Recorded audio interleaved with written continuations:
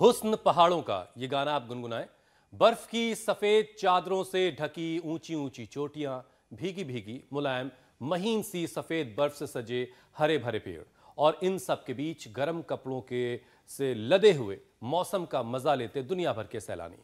सुप्रभात, साल का आखिरी महीना चल रहा है, लंबी छुट्टी आने वाली है और रोहतांग से लेकर गुलमर्ग, सोनमर्ग समेत कश्मीर घाटी के ऊपरी इलाकों में बर्फबारी भी खूब हो रही है। हुसैन, ये आपने कश्मीर का हाल बताया, उत्तराखंड की भी तस्वीर, हिमाचल की भी तस्वीर ऐसी ही है।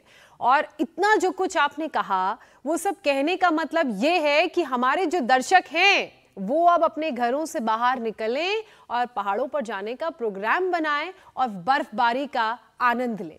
घर ऑफ़िस की टेंशन से दूर, अपनों के साथ कुछ वक्त बिताएँ, पहाड़ों की गोद में जाएँ और मौसम का मज़ा लें। बिज़नेस लोन के लिए बैंक गए तो बिज़नेस प्लान दिखाइए करके पूछते हैं।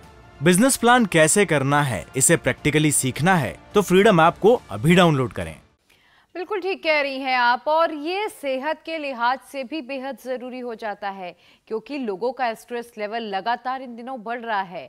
हर किसी की ज़िंदगी में सुकून से ज़्यादा टेंशन है प्यार से ज़्यादा गुस्सा है और तो और इसकी वजह से बढ़ती एंगजाइटी लोगों को हाइपरटेंशन का मरीज़ भी बना रही है इसीलिए घर से निकलने का प्लान बना डालिए और अगर आपको लग रहा है कि आप वहाँ जाके योग कैसे करेंगे तो इंडिया टीवी वहाँ भी आपको लगातार मिलेगा सिर्फ़ आजकल तो नेटवर्क कनेक्टिविटी हर पहाड़ हर चोटी पर बिल्कुल मतलब योग आप वहाँ भी कर पाएँगे। बहरहाल, ये तमाम बातें बिल्कुल ठीक है। दरअसल, ग्लैप वर्ल्ड सर्वे की एक हैरान करने वाली रिपोर्ट आई है, जिसके मुताबिक भारत की महिलाओं में तनाव और गुस्सा पुरुषों के मुकाबले 12 फ़ीसद ज़्यादा। मेरे दोनों तरफ़ आप देख रहे हैं ना? जबकि 10 साल पहले तक भारतीय महिलाओं को पुरुषों के बराबर ही गुस्सा आता था। इधर बढ़ गया है। कुछ तो किया है पुरुषों ने, तभी जो आंकड़ा है वो बढ़ रहा है। बहरहाल हैरानी इस बात के लिहाज से भी होती है कि विपरीत हालात में भी धीर, गंभीर, सौम्य और शांत रहने वाली महिलाएँ, खासकर भारतीय महिलाएँ, बाकी देशों की महिलाओं के मुकाबले दोगुना गुस्सा करती हैं। और इसका सीधा सीधा असर आप जानते ही कहाँ पड़ता है सेहत पर। वो हाइपरटेंशन की गिरफ्त में आ जाती हैं और वैसे भी देश की 75 फ़ीसदी हाइपरटेंशन के मरीजों का जो बीपी है, वो अनकंट्रोल है। आप उसे कंट्रोल नहीं कर पाते। जो मौत की एक बड़ी वजह भी बन रहा है। मेडिकल जर्नल द लेसन के मुताबिक देश में हर चौथा एडल्ट हाइपरटेंशन की गिरफ्त में है और ये आंकड़े डराने वाले हैं। और हालात ये हो चुके हैं कि अनकंट्रोल ब्लड प्रेशर की वजह से कार्डियोवेस्कुलर डिज़ीज़ तेज़ी से बढ़ रही है और जो हर तीसरी मौत की वजह है। तो ऐसे में ज़रूरत है कि स्ट्रेस टेंशन एंजाइटी से तौबा कर ली जाए, उसे दूर ही रखा जाए और ज़िंदगी की अहमियत को समझा जाए। और वैसे भी पहाड़ों पर बर्फबारी का असर मैदानी इलाकों में भी देखने को मिलता है। ठंड का प्रकोप जब ज़्यादा बढ़ जाता है और मैदानी इलाकों में हवा चलने लगती है तो समझ लीजिए कि पहाड़ी इलाकों में बर्फबारी हुई है। और योग गुरु स्वामी रामदेव हमेशा ये बताते भी हैं कि सर्दियों में ब्लड प्रेशर बढ़ता है, क्योंकि ब्लड वेसल सिकुड़ जाती है। ऐसे में अपना ख्याल सर्दियों में रखना ज़्यादा ज़रूरी सर्दियों की एक निशानी और है कि जब आपको स्क्रीन पर ज्योत्सना और प्रिया जो है फुल स्लीव्स में नज़र आने लगे हाफ़ स्लीव्स में तो भी ये भी एक निशानी की सर्दियाँ आ चुकी हैं। हालाँकि स्वामी रामदेव की तरफ़ सर्दियाँ अभी नहीं आई वहाँ हमेशा गर्मी रहती है। और सर्दी के हिसाब से तमाम जो यौगिक उपाय हैं वो हम आज जानेंगे जिससे बीपी नॉर्मल रहेगा। स्ट्रेस और टेंशन हमेशा दूर रहेगी गुस्सा नहीं आएगा। स्वामी जी बहुत बहुत स्वागत है आपका। प्रणाम। प्रणाम स्वामी जी। बहुत बहुत स्वागत है। बहुत बहुत प्रणाम हुसैन भाई प्रिया जी ज्योत्सना जी और मैंने ज़िंदगी में एक नया एक्सपीरियंस किया ये जो मनोरंजन जी इनका नाम ही मनोरंजन है। कभी वो सोचे कि मनोरंजन करने के लिए बुला रखे हमने। कितनी उम्र हो गई? सत्तर साल। सत्तर साल। आपके परिवार में कितने लोग मर चुके हैं? कितनी उम्र में?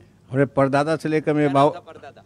मुंगा लाल शाह और पिता दादाजी? जगन्नाथ प्रसाद। और पिताजी? राधा कृष्ण प्रसाद। और कितने लोग मर गए? मेरे चाचा जी मर गए और चाचा जी के तीनों लड़के मर गए। सब बहुत कम उम्र में चालीस से ऊपर मर गए चालीस से अट्ठावन के ऊपर कोई नहीं पूछा और आप कितने के हो गए? सत्तर साल के हो गए। सत्तर साल के हो गए जोरदार ताली बजा तो मरे ही नहीं है। क्यों? क्या कब से योग कर रहे हो? 2005 से लगातार कर रहा हूँ। 2005 में मेरा कैंप हुआ था मुजफ्फरपुर में तब से योग करने लग गए। अब रोज सुबह कितनी देर योग करते हो? पैंतालीस से एक घंटा करता हूँ। पैतालीस है? पैंतालीस मिनट से एक घंटा तक। पैतालीस मिनट से एक घंटा तक प्राणायाम करते हैं फिर थोड़े आसन कर लेते हैं दोनों टाइम करते हैं। और जो योग यज्ञ करता है वो नहीं मरता है ये एंटी एजिंग है ये साबित कर दिया है। ये जोरदार काम किया चार पीढ़ियों का बहुत बड़ा तथ्य। इसका मतलब योग एंटी एजिंग है। किसी भी कारण से किसी की हार्ट अटैक से होगी किसी की जो है मैक्सिमम लोग हार्ट अटैक से मर गए। मैक्सिमम लोग हार्ट अटैक से मरे। ये देखो ये बैठे हुए मरने का नाम ही नहीं ले रहे। तो आप आपने क्या किया? बिज़नेस लोन के लिए बैंक गए तो बिज़नेस प्लान दिखाइए करके पूछते हैं। बिज़नेस प्लान कैसे करना है इसे प्रैक्टिकली सीखना है तो फ्रीडम ऐप को अभी डाउनलोड करें। मैं मेरे को हार्ट में ब्लॉकेज था। तो हार्ट का ब्लॉकेज जो है योगा प्राणायाम और आयुर्वेद से हार्ट का ब्लॉकेज को ठीक किया। निकाल दिया? एकदम पूरा निकल गया। राजेंद्र कहाँ से आए? बेंगलोर से। पढ़े लिखे लग रहे हो आप तो? पढ़े लिखे हैं। ये जो है लोग सोचते हैं कि अनपढ़ लोग ऐसे बोल देते पढ़े लिखे हैं।